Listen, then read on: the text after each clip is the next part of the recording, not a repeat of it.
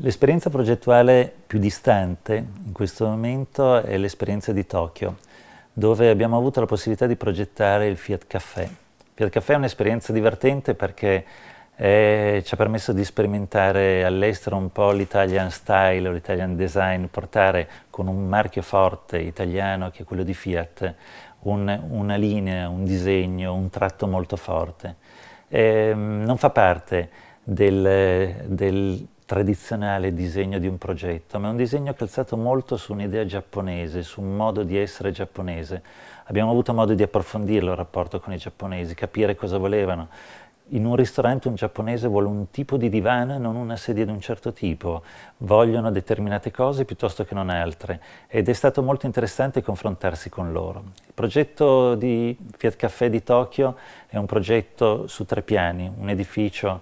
in eh, Aoyama, in pieno centro Tokyo, dove il piano terreno è dedicato allo showroom, a un punto vendita dove è esposta una sola automobile, che è stata la 500 e continua a essere la 500 alternandosi nelle varie versioni perché ha avuto un successo veramente importante in Giappone.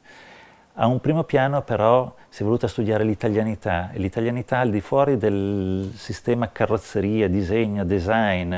eh, automobile è stata tradotta sotto forma di cibo, quindi Fiat Café è uno showroom dove c'è un ristorante, un bar molto importanti, o forse c'è un ristorante, un bar italiano all'interno del quale vengono vendute automobili. Non si sa bene quale sia la logica di tutto questo, ma la logica è che l'Italia esiste perché ha una sua tradizione, una sua cultura e ce l'ha in ambito di design e nasce da tradizioni culturali che si portano dietro naturalmente il cibo e tutto quello che sono i valori aggiunti legati alla progettazione e alla tradizione del nostro paese, che hanno un valore fortissimo all'estero e questo abbiamo avuto modo di sperimentarlo in prima persona. I nostri progetti sono rispettati fino all'ultima vite. Cambiare la testa di una vite da una vite croce a una vite taglio è una richiesta che viene fatta specificatamente e in maniera assolutamente professionale dai giapponesi quando devono cambiare qualcosa. Non c'è un'iniziativa, c'è la volontà di condividere un progetto che sanno benissimo che nasce con delle tensioni molto precise e che se viene modificato forse anche in un dettaglio così eh, minimo può in qualche maniera venire penalizzato.